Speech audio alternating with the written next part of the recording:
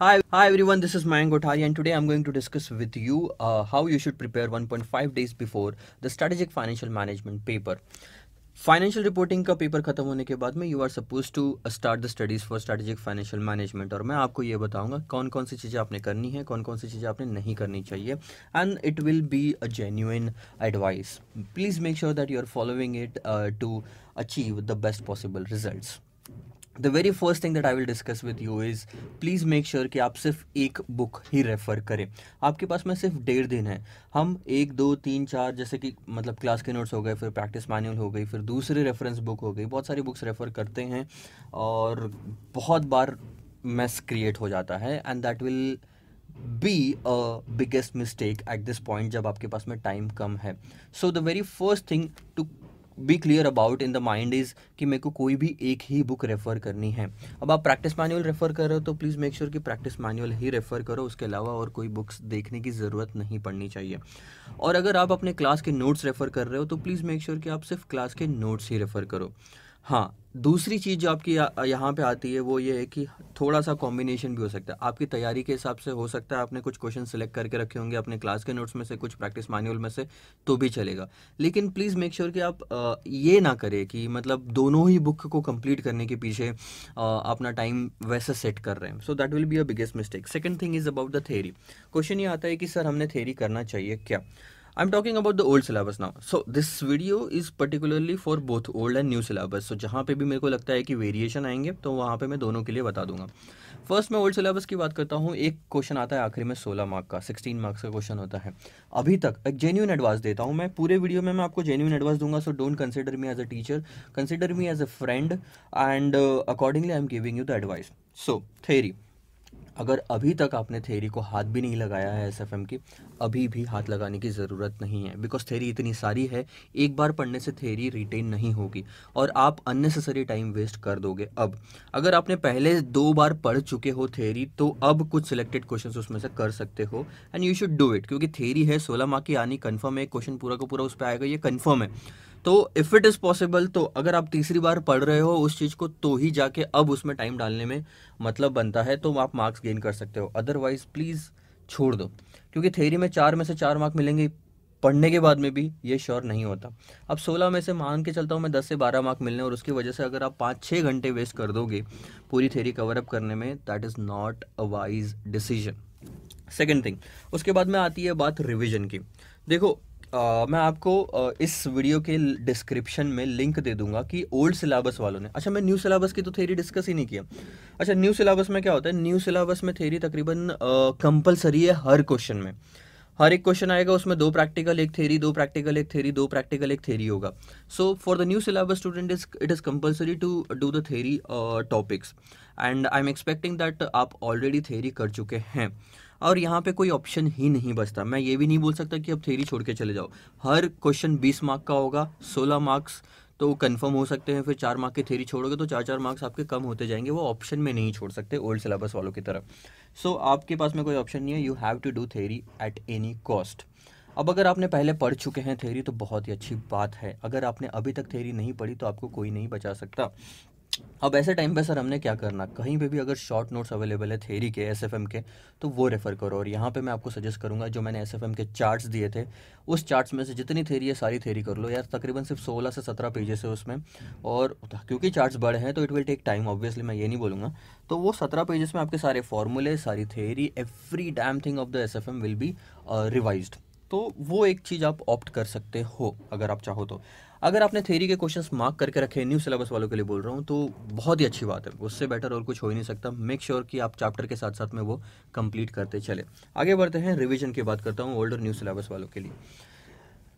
सबसे बड़ी गलती ये हो जाएगी कि आप रिवाइज नहीं करोगे एग्ज़ाम के पहले में। सो रिविजन इज़ मस्ट एक आखिरी में एक पिक्चर का पूरे चैप्टर का ओवरव्यू आना ज़रूरी होता है कि स्टार्टिंग कहाँ से हो रही है और एंड कहाँ पे हो रहा है ये चैप्टर की। मैं मतलब अगर मेरे को पोर्टफोलियो में सिंगल इंडेक्स मॉडल या फिर मेरे को पोर्टफोलियो में कैपिटल एसेट प्राइसिंग मॉडल पता करना है कि एग्जैक्टली exactly कहाँ है तो एक पिक्चर अपने माइंड में होना ज़रूरी है।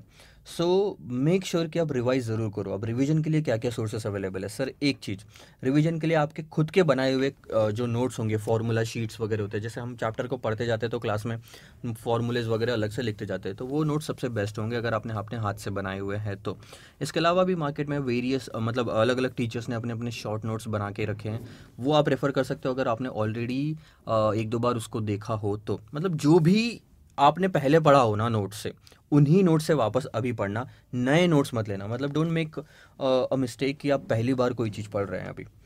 उसके अलावा मैं आपको बताता हूँ एस एफ़ एम के चार्ट्स जो मैंने दिए थे that will be the best thing to revise I took lot of efforts to make those charts and it is available and I will give the give the link to download them in the description also and this will be perfect for uh, the questions also that the formulas and all that and plus theory so both the things will be covered up in that revision is must revision अगर आपने छोड़ी तो बहुत बड़ी गलती होगी second thing don't stick to a single chapter So emotions के साथ हमने नहीं खेलना है तो कोई भी चीज़ को इतना ज़्यादा टाइम मत देना कि आपका नुकसान हो जाए। एक ही चैप्टर को ज़्यादा से ज़्यादा टाइम दे दोगे तो दिक्कत हो जाएगी। ऐसा ना हो कि जैसे पोर्टफोलियो मैनेजमेंट का चैप्टर आपने नेक्स्ट डे लेके बैठा।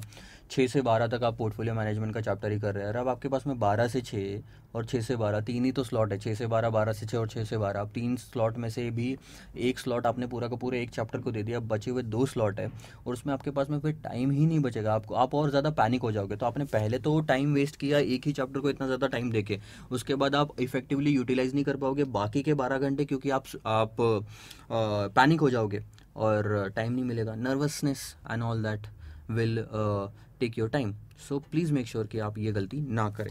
Next thing is should I cover all the question from practice manual सबसे बड़ी गलती सर ये हो सकती है। आप अगर कोशिश करोगे ना प्रैक्टिस मैनुअल के पूरे के पूरे 530 क्वेश्चन को कवर करने की तो it will be difficult for you around 530 question है।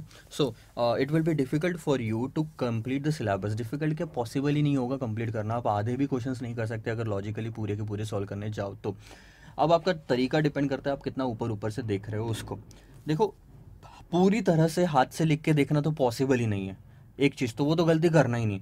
सारे के सारे क्वेश्चंस ऊपर ऊपर से देखना, फटाफट फटाफट फटाफट फटाफट, ये भी गलत हो जाएगा। कोई मतलब ही नहीं बनेगा। क्वालिटी होनी चाहिए। सो थोड़े क्वेश्चंस कम कर दो और उसको ठीक से करो। कम करो, लेकिन ठीक से करो।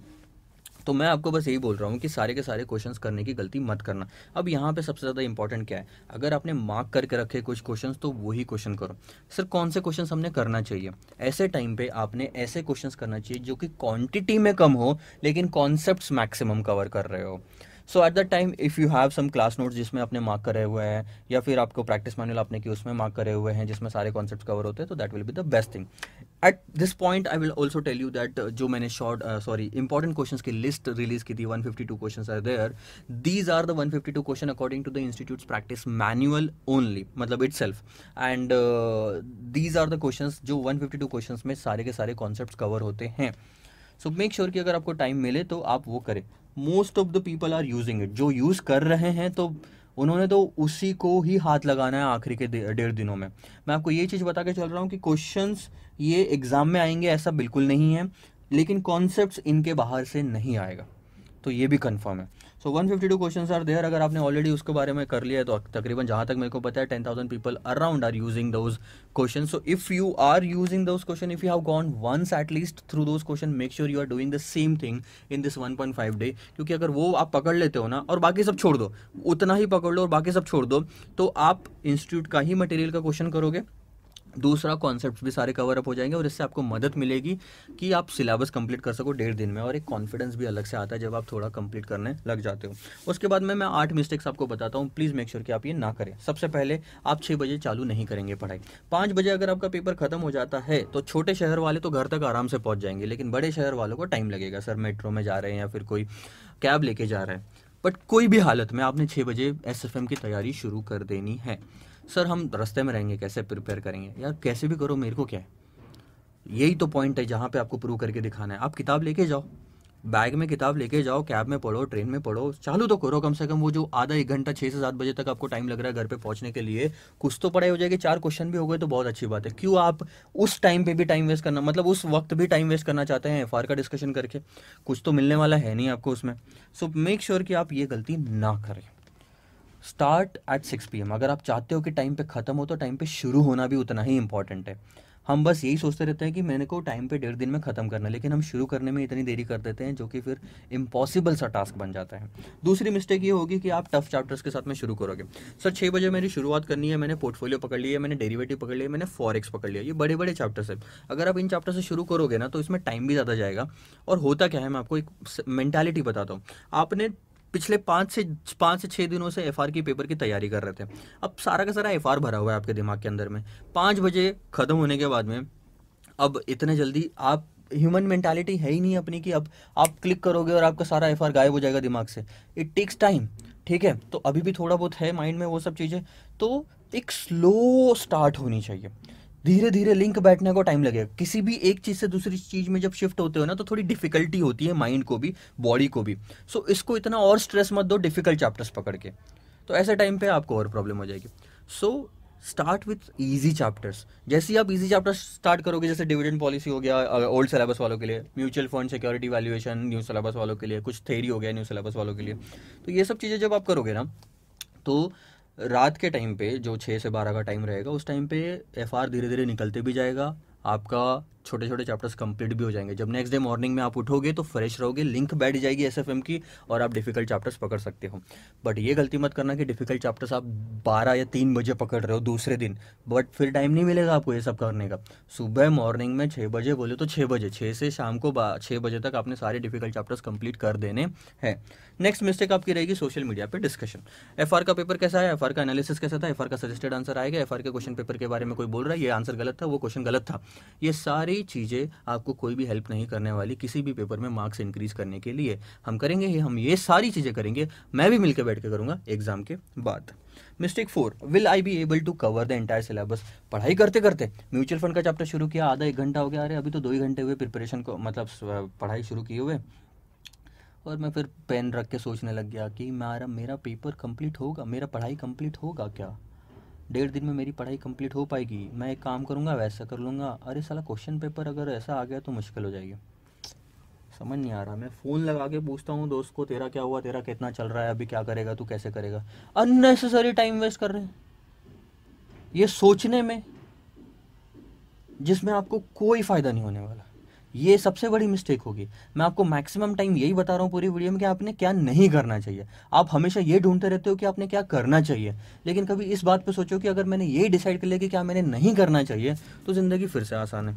Okay mistake five will be not revising three to four hours before exam कितनी भी पढ़ाई हो जाए, कितना भी कम हो या छूट गया हो, छोड़ दो। एंड टाइम पे अगर जितना हुआ, उतना हुआ। तीन से चार घंटे पहले या तीन घंटे पहले आपने रिविजन ज़रूर करनी है। और ऐसे टाइम पे आपको चार्ट्स काम आएँगे। मैंने लिंक दिया डिस्क्रिप्शन में यू कैन यूज़ दो charts if you have gone through it till now लेकिन अभी तक आपने अगर उस चार्ट को नहीं देखे और आपने अपने क्लास नोट्स को देखे हैं या अपनी फॉर्मूला शीट्स को देखे हैं तो प्लीज़ मेक श्योर आप उन्हीं को ही देखें। जो चीज़ हम ऑलरेडी एक बार देख चुके हैं, दो बार देख चुके हैं, उसको वापस रिवाइज करना ईजी जाता है। कोई भी नई चीज़ आप पहली बार अगर आप करोगे ना इस बार तो वो टाइम भी लेगा और आपका टाइम वेस्ट भी होगा। Next mistake you are not confident at the exam centre sir आप ओवर कॉन्फिडेंट भी मत हो और आप नर्वस भी मत रहो। उस टाइम पे अगर आप नर्वस रहे एग्ज़ाम हॉल में जस्ट इमेजिन कि एग्ज़ाम हॉल में मैं एंटर कर रहा हूँ और उसके बाद में मैं थोड़ा बहुत नर्वस लग रहा हूँ पेपर कैसा आएगा, कैसा नहीं आएगा मैं पूरे हंड्रेड मार्क का सॉल्व कर पाऊँगा, नहीं कर पाऊँगा, आज का पेपर एकदम टारगेट पेपर रहा इंस्टीट्यूट्स का और सबकी लगा के रख दी तो फिर क्या होगा? ये सारी चीज़ें के चक्कर में जब अगर आप नर्वस हो गए तो ऐसे टाइम पे जितना आपने मेहनत किया, डेढ़ दो साल से, तीन साल से, ये सारी मेहनत पूरे पानी में चले जाएगी। क्योंकि जो चीज़ अल्टीमेटली काम आएगी आपको एग्ज़ाम सेंटर में, वो कोई टीचर फ्रेंड रिलेटिव्स बुक्स वगैरह कुछ भी नहीं। जो है वो ये है। आपने इस चीज़ को प्रिपेयर किया उस दिन में और इस चीज़ को शांत रखना ज़रूरी है। आप इस भाई साहब को दिक्कत मत दो। शांत रहो। So you should be calm at that time over confidence भी नहीं और नर्वस भी नहीं होने। ओवर कॉन्फिडेंस में जाके देखोगे फिर पता चलेगा पेपर कितना डिफ़िकल्ट आया। Next mistake will be solving the difficult question first paper हाथ में आया और उसके बाद में आप, भैया, दस मार्क का क्वेश्चन मैं पहले सॉल्व कर लेता हूँ। बारह मार्क का क्वेश्चन है, पहले सॉल्व कर लेता हूँ। डिफ़िकल्ट क्वेश्चन अगर सबसे पहले आ रहे हैं, उनको पहले सॉल्व करना ज़रूरी नहीं है। अगर आपको लगता है कि सर आपको इसमें सोचना पड़ेगा, थोड़े टाइम बाद में उसमें टाइम जा सकता है तो आप उस क्वेश्चन को फ़िलहाल छोड़ दो। इजी इजी क्वेश्चन सबसे पहले करो। सबसे स्मार्ट रूल ये ही है। मार्क्स सबसे पहले गैदर कर लो, उसके बाद में डिफ़िकल्ट क्वेश्चन को टाइम देना। Next mistake will be giving more than required time to a particular question मैंने आपको बोला था, एक चैप्टर को ज़्यादा से ज़्यादा टाइम नहीं देना डेढ़ दिन में। वैसे ही किसी भी एक क्वेश्चन को ज़्यादा ज़्यादा टाइम नहीं देना वो तीन घंटों में। यार सबके लिए सारे क्वेश्चंस के लिए तीन घंटे अलॉटेड है। मतलब हर दस पंद्रह मिनट में एक एक क्वेश्चन आपका कंप्लीट होना चाहिए जो से भी होगा। ठीक है? तो उससे ज़्यादा अगर टाइम लग रहा है कहीं पे भी छोड़ दो सर उस क्वेश्चन को आगे बढ़ो और फिर उस क्वेश्चन को बाद में देख लेंगे आखिरी में टाइम मिला तो। नहीं तो छूटेगा तो छूटेगा कोई दिक्कत नहीं है। Will I be able to cover the entire syllabus में मेरी एक पॉइंट एक चीज़ बताने की रह गई कि आप कितने भी आ, कितना भी पढ़ लो, लेकिन कभी भी ऐसी सिचुएशन नहीं आएगी कि, ओ बेटे, आज तो मेरा सिलेबस कंप्लीट हो गया और मैं थैला उठा के चल दिया, एक घंटे पहले मैं सेंटर में जाके बैठ रहा हूँ, बातें कर रहा हूँ। कभी ऐसी सिचुएशन नहीं आएगी कि आप एक खुद को बोल पाओगे कि, भैया, मेरा तो सिलेबस कंप्लीट हो गया। इवन रैंकर्स ऑल्सो सबके अपने पढ़ने का एक एक्सपेक्टेशन होता है, तैयारी होती है तो किसी का ना कंप्लीट नहीं हो पाता। तो ये तो माइंड में रखो कि मेरा कंप्लीट होएगा ही नहीं कभी भी। लेकिन जितनी कोशिश हो सकती है, इन 12 घंटों में 22 घंटों में निचोड़ के रख दूँगा। बस इतना ही काम आपको करना है। रिज़ल्ट अच्छा लाने के पीछे मत भागो। सर, इस चीज़ के पीछे भागो कि जितना 22 घंटे में मैं मेहनत कर सकता हूँ, मैं कर लेता हूँ। बाद में होगा जो देखा जाएगा। At the end I will tell you that all the best for exam emotions दूर रखना। बिल्कुल दूर रखना। फीलिंग्स इमोशंस कहीं पे भी ऐसा अटैचमेंट नहीं आना चाहिए जहाँ पे दिल से बात हो। प्लीज़ मेक श्योर कि आप इन सबसे दूर रहें। दूसरी चीज़, सर। थोड़ा आप इस चीज़ पे भी ध्यान रखें कि आप ही अकेले नहीं हैं प्रिपरेशन करने वाले। कई सारे और लोग हैं आपके आसपास के जो कंटिन्यूसली आपकी मदद करते रहते हैं। प्रिपरेशन दो तीन महीनों से चल रही है और जब मैं बोलता हूँ, तब मेरी खाने की थाली आके मेरे पास में लग जाती है। वो माँ भी आपके लिए आप अपना बाकी सारा काम छोड़ के हर हमेशा उस टाइम पे अवेलेबल होती है जब आप आवाज़ लगाते हैं। वो बाप भी आपको उस टाइम पे काम नहीं बताता क्योंकि पता है आपके लाइफ का सबसे इंपॉर्टेंट टाइम चल रहा है।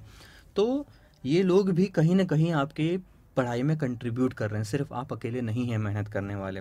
तो पीछे ज़ोरा सा देखिए कितने लोग हैं मेरे, जो कहीं ना कहीं एक्सपेक्टेशन लगा के बैठे होंगे या कहीं पे भी जो आपके साथ में मेहनत कर रहे होंगे। और क्या आपको अकेले पास होना है?